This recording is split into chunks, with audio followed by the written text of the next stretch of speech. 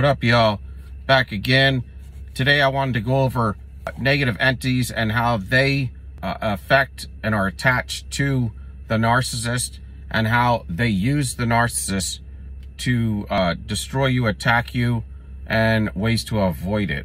And, and just to give you a little understanding of what's really going on. Because, you know, when you're dealing with these individuals, you're dealing with the spiritual realm. It's not them that you're really inherently dealing with at the end of the day when it comes to all the destructive mechanisms that are in place to, to, to and the pitfalls to attack you. There, there's no reason for individuals to attack innocent people like this without something orchestrated in the spiritual realm. The more that they devour you, the stronger that they will become. Okay, and they know this and and they pursue this kind of this is really where their relationship is with you their relationship is with you is is you think it's it's because they love you they want to get to know you they want to be with you. Because that's just the reality of what humanity's like. These guys are not like that. Uh, they're out here they're out here to for power control energy draining and destructive uh, ways that they can manipulate humanity.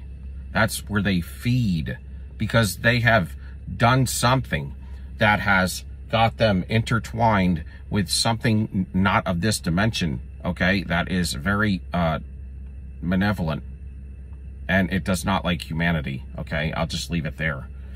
Hey, if y'all on, give me a like, y'all. Give me a subscription. Love y'all. Peace. Bye. They believe, man, this is what these things make them to believe. See, they get so intertwined with these things, they don't even know what, that they're actually dealing with these things sometimes. But, you know, they make them feel more uh, superior than uh, the human human race. Then use them as a device, basically, to tap into you and to drain you. Because they feel like, you know, humanity and you and I are below them, right? We all know this. They believe they're kings and queens, they're the rulership, and we're the cattle of the field or, or the beast of the field. And, and it's really the opposite. Or that we're like some object that they can pick up and put down. Uh, that in itself should get you to, to leave the narcissist, but I understand that, that, uh, how it works because I'm one of y'all. I've been through this, and that's why I started this channel because I'm passionate about bringing back strength to the empath and, and awareness, especially when uh, you wake up to dealing with this at the age of 40 something, man. It's ridiculous that they don't have, they don't teach this stuff because it is spiritual and they don't want to address the spiritual in the world we live in today. Okay, because really the negative spiritual is what rules the world today. And that's why they don't want to even let on to it.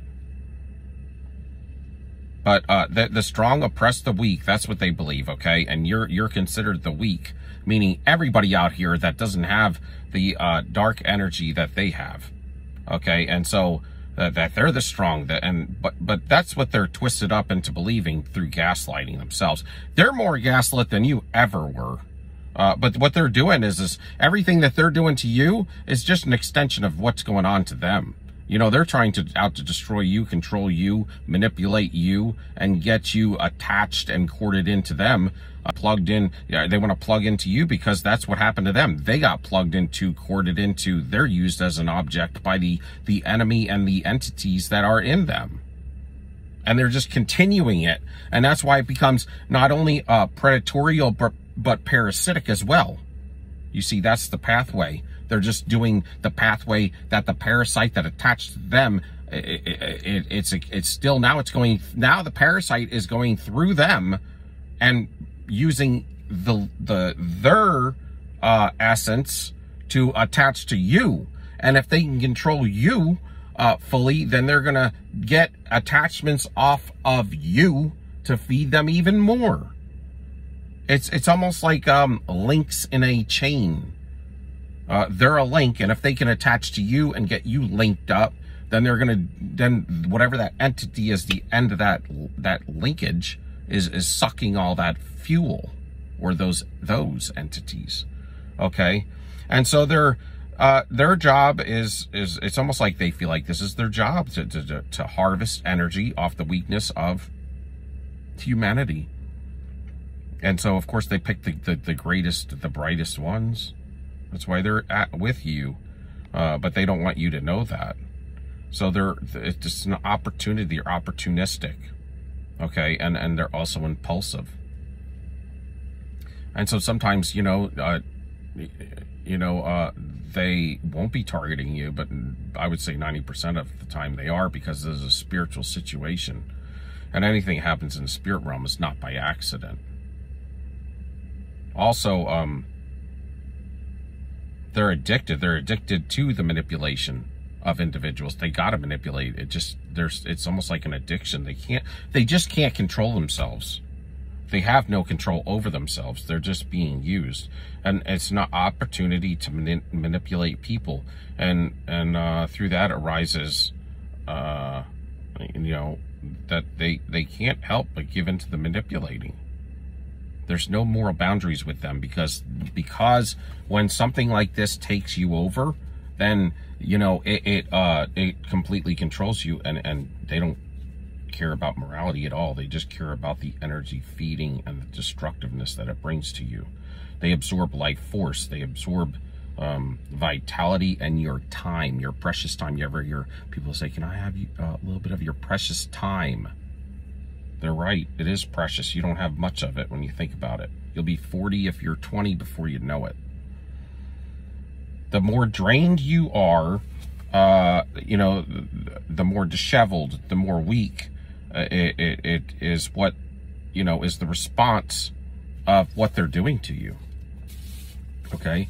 And uh, this is how they, they, they find your energy weak points and they manipulate and, and exploit these weak points uh, in your life to control you, to manipulate you. Your weakness is their strength, right? That's why you're the opposite of them. They're opposite of you. They find chinks in your armor. They find uh, leaks in your energy fields. You know, because they can see your aura. They can see, see your spiritual, spiritual aura that's surrounding you, that protection, that system of protection and they see where, let's see, whatever color it is to make it look strong, they're going to see where it's weak, you know? And, and they're gonna they're gonna hit you in those areas, and those areas are gonna be weaknesses that are unhealed to you. They're gonna be unhealed childhood wounds. They're to be uh, bad boundaries uh, and and and or insecurities, which all could lead or stem from the un, uh, unhealed wounds. Okay, initially. So they, they get you in the pursuit of them, and, and then uh, they get in your head and control your emotions. They put you on shaky ground, and uh, every area of your life they start to uh, make shaky. That they they get you they get you in this all of this distrust that they're creating. So you're trying to to understand where's the honesty in them, where's the truth in them, and and but there's all this distrust there's then it turns into rumination where you're thinking about them and you have split thoughts on them and you can't figure it out. Then you have anxiety and then depression. Then you have more vulnerability because you're getting drained of your energy and then the attacks become more increasingly and because you're more vulnerable. Okay? And this is where you get sick. They can get you jealous because you're starting to wear their energy and through the, then they're triangulating you and they're using lies and, and they lead to a breakdown as they consume all of your time and energy. It's all spent on this. This is always deception. It's always wickedness. It's always someone close to you in your camp. It's a wolf, y'all. And so anytime you're dealing with this, it's it's a wolf in your camp that's close and you should know it. These are telltale signs, uh, information on how they are doing, how well they are doing as far as how well they're destroying you. If you're disheveled, if you're weak, if you're depressed, all of that, they love it. As much as they will deny they love it, they love it. It's terrible, it's sad, and it's hard for us to fathom, but it's true. Negative reciprocity, this is what it leads to for all of us. Outside of the love bomb phase, negative reciprocity is what they live on. And that's how they abuse you. They abuse you with negative reciprocity, meaning you put 100% of your fuel out there, you're doing 100% or 110%. You're doing whatever you can to help them, to help them, and they're giving you 20, 15 to 20%. And even that is not good because it's probably destructive in itself. It's not even helpful. And they get you running like that, and then they're breadcrumbing you, and then you're running faster and you're trying to understand them you're trying to understand the enemy so you can love the enemy. This is what it turns into. And then, um, you know, you're not loving yourself. Whenever you get into negative reciprocity, it's because y'all don't love yourself. I've been there, y'all. I mean, so I'm just saying, I, I'm not trying to be hard. I'm just saying that this is the truth of the matter and being, having gone through it probably within five relationships over my life, uh, and been you know, almost utterly destroyed before I came back. The thing is, is we're resilient and they hate that. But we don't want to abuse ourselves. We want to grow and we want to grow up and grow tall and, and, and expand. And we can't expand with, when we're in the presence of a narcissist. You're not in the presence of someone who loves you back is what it's getting at. Okay, they have ulterior motives at play and, and you know, and they're out to destroy you. Uh, uh, you know, they're jealous, they're deceitful individual, uh, and, you know, they're purposefully misleading you and to manipulate you. They control you, they drain you, and they puff up their ego through all of this. Uh, checking, checking them once, I always say. You know, in the love bomb, you check them once. You just disagree with them one time. You question them one time. You, you, you know, say something like that was wrong. You know, you shouldn't have did that one time. Or you say no to them one time then you're in devalue mode right away. Uh, stuff starts to flip on you. And uh, this is when, you know, uh, now you're now you're going to be devalued and they're very dangerous individuals. They start projecting onto you and this is what leads to them putting curses on your life. Listen to this. So, um, the, that toxic energy that, uh, that now they are, they're throwing onto you through projection is, uh, it's so toxic that it will wreck your life because unbeknownst to you, unaware to you, uh, this destructive energy is is something that you're not used to, and you don't know how destructive it is because you're not the one that created it. They did. They flipped it on you when they when they projected it onto you and you accepted it, and they took your energy and they threw their energy onto you. But they are doing such evil things that when you wear their energy, you will do things that are not, they, they are very destructive to you.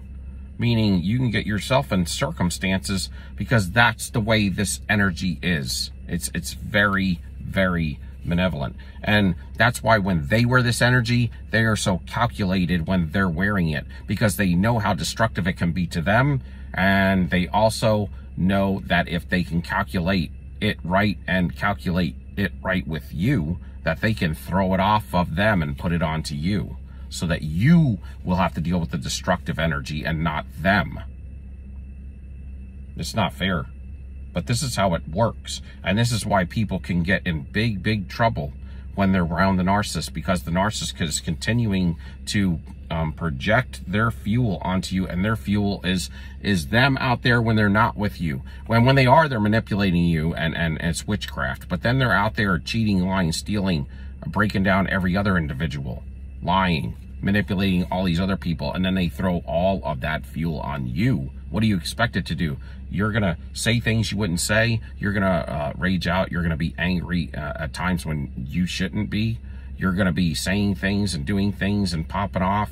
And this gets you in some brutal issues and in, in real situations. And that's why you can't be around them.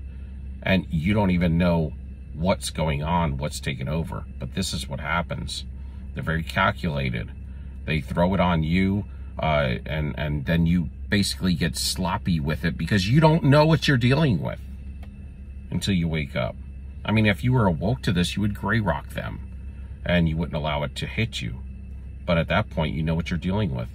I mean, they'll invoke and conjure up uh, entities, negative, more negative entities than they already have, or to entice other ones to jump and and to um, attack you as well. Incantations, uh, spoken words, uh, uh you know, and any attempt to flip and to project and flip their energy onto you. This is cursing y'all and they're already uh, the embodiment of witchcraft, but then they will uh, invoke spells and verbal charms, uh, you know, spoken and sung uh, rituals of magic. They, they do all of this. And, and then, uh, you know, formulated words written, uh, designed to produce particular event or an effect negatively on you to destroy you. That's why they're with you, to destroy you it causes adrenaline uh, from your emotional suffering, it gives them adrenaline. They're addicted to the adrenaline feed. Okay? Your suffering feeds them. High emotional, eh, eh, uh, high uh, uh, uh, emotionally, it will give them a high. Okay? It'll emotionally give them a high when they see you suffering. And this is where they laugh, they're calm, or, you know, they'll give you smirks and they're very pompous. And this is where they will break you down to your knees. They want your face flat in the dirt, man. And, and this is because they've already they've already uh, knocked you down. They beat you down, and now you're just so weak and decrepit. You're you're a sorry individual. But this is what you allowed, and you didn't know it and you just wanted to love. This is where your love becomes weakness because you got to control your love and who you give it to, and you got to control who you hang out with and, and read the flags. Uh, what they hate, though, is when you're happy, that's what destroys them. When you're happy, independent, when you're whole, when you're whole, when you when you seek wholeness and you walk away from them, they have low. Listen to this. I, I looked into this, but when you have somebody with with low uh, negative energy. They have that that's malevolent spirits in them. They have radiation waves that are electromagnetic. That's why it can affect sometimes your equipment. You know, we always would say your electronics. But also, it'll affect not only your objects, but it, it will go through objects and go through your body, and it will uh, radiate and cause um, effects onto your your cells, your brain cells. Okay, and and this is because, and that's what that rumination causes. I mean, it's almost like you're getting radiated.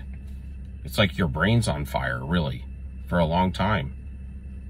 And so what they do is they can they, they attach to, you know, uh, you know, mental illness, depression.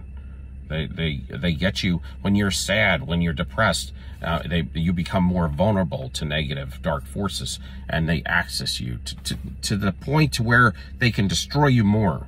And that's why, that's one reason. So they feed off of you, and then when they knock you down to the ground, then they can destroy you with, with witchcraft. Okay, I've already talked about this, but um, I just wanted to kind of go over it a little bit more because uh, uh, these entities feed on human sadness and anger and all of this stuff. They can see your spiritual aura and defense system. It's almost like you have this, this bubble around you and and how strong it is. They say they can even smell uh, your weaknesses.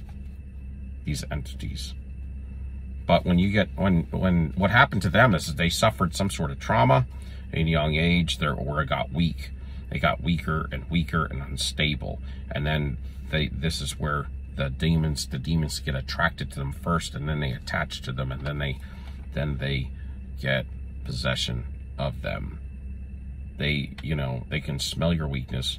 They feel your spiritual system and they uh, need uh, energy, but they, they come to the weak energy, energetic people. And if you're a strong, ener energetic individual, that's why they'll send the narcissist to break you down and to break you down first with your wellness, your health, and then your mental. Okay. And that's what they do first before that they can really nail you and destroy you, okay?